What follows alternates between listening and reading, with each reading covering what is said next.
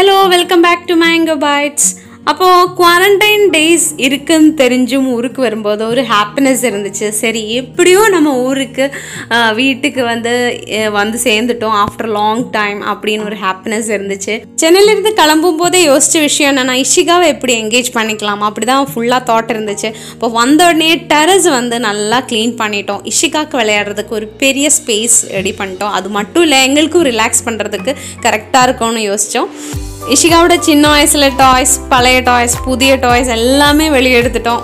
Maximum engage பண்ணலான்னு ஒரு plan தான். அடுத்ததான் வந்து எப்படி இஷிகா என்கேஜ் பண்ணேன்னு பார்த்தீங்கன்னா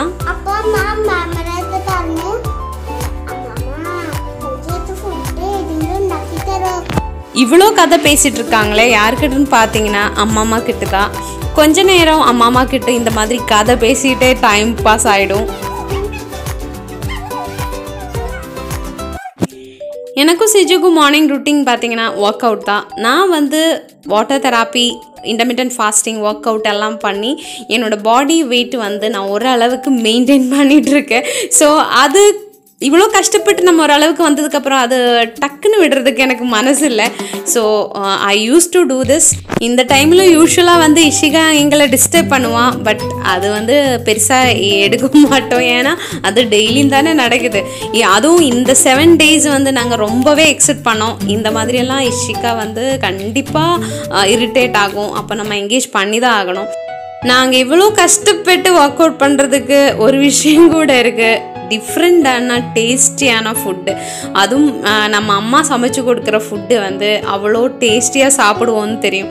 ஸோ சாப்பிட்டுட்டு தேவையான அளவுக்கு ஒர்க் அவுட் பண்ண வேண்டியதா. செவன் டேஸும் டிஃப்ரெண்ட் டிஃப்ரெண்டான பிரேக்ஃபாஸ்ட் பூரி புட்டு இட்லி ஆப்பம் இடியப்பம் அந்த மாதிரி டிஃப்ரெண்ட்டாக வச்சுருந்தாங்க. அதே மாதிரியே லஞ்சு மெனுவும் ஸ்பெஷலாக இருக்கும். ஃபிஷ் எல்லாமே ஒரு நாளைக்கும் லஞ்ச் இருந்ததில்லை. அந்த மாதிரி ஹெல்த்தியாக ஒரு ஃபுட் ஐட்டம் ஃபுட் மெனுவே போயிடுச்சுன்னு வச்சுக்கோங்களேன். அடுத்தா வந்து எங்கள் என்கேஜ்மெண்ட் பார்த்தீங்கன்னா நிறைய டிஃப்ரெண்ட் டிஃப்ரெண்டான வேர்ம்ஸு இன்செக்ட்ஸு பேர்ட்ஸு எல்லாமே வந்துட்டு இருந்தது. காலையில எந்திரிக்கிறது பார்த்தீங்கன்னா ஸ்பேரோ வந்து எங்கள் விண்டோவில் வந்து சத்தம் போட்டுட்டு இருப்பாங்க. அப்போ தான் நாங்கள் எந்திரிப்போம். அந்த மாதிரி டிஃப்ரெண்ட்டான பேர்ட்ஸ் எல்லாம் வந்துட்டு இருந்தது.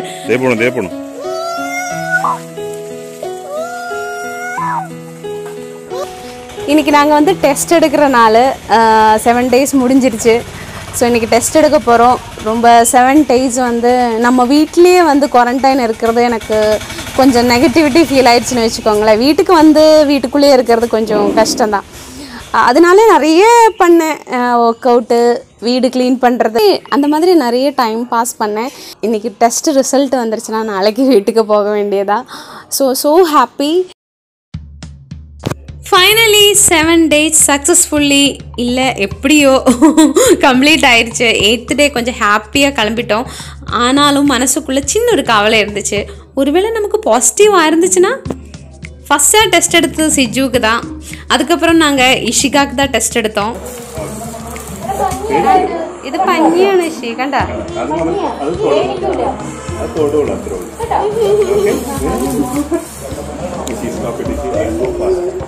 നമുക്ക് പോയി ഗെയിം കളിക്കണ്ടേ നോക്ക് ഇഷി, നോക്ക് അല്ലെങ്കിൽ പിന്നെ പോ- കൊണ്ടുമില്ല കേട്ടോ അമ്മ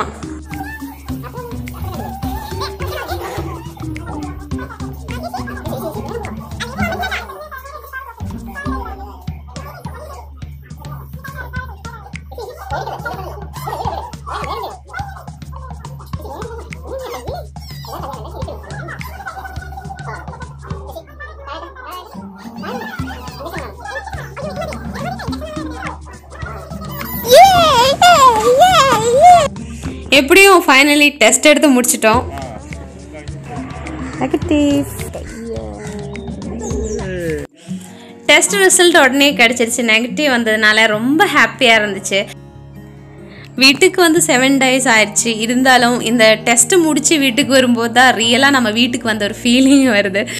நான் லாஸ்ட்டாக போட்ட வீடியோவில் வந்து எங்கள் வீட்டில் இருக்கிற மரங்களெல்லாம் பார்த்து நிறைய பேர் உங்கள் ஹோம் டூர் ஒரு வீடியோ போடுங்கன்னு சொன்னாங்க.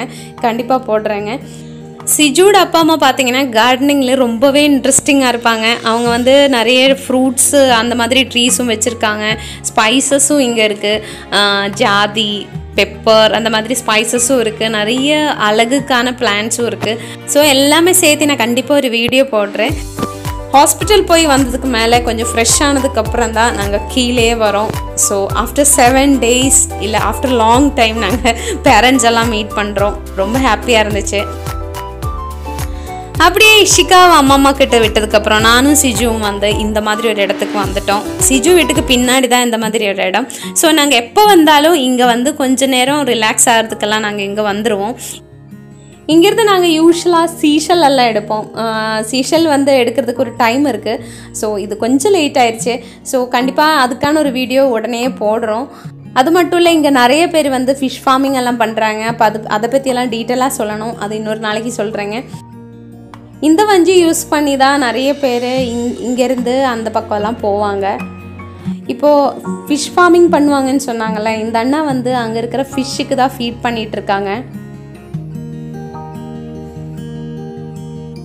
ஸோ இன்னும் நிறைய விஷயங்கள் இந்த இடத்த பற்றி உங்களுக்கு காமிக்கிறதுக்கு இருக்குது ஸோ நம்ம அடுத்த வீடியோவில் பார்க்கலாம். அண்டில் தென் பாய் பாய்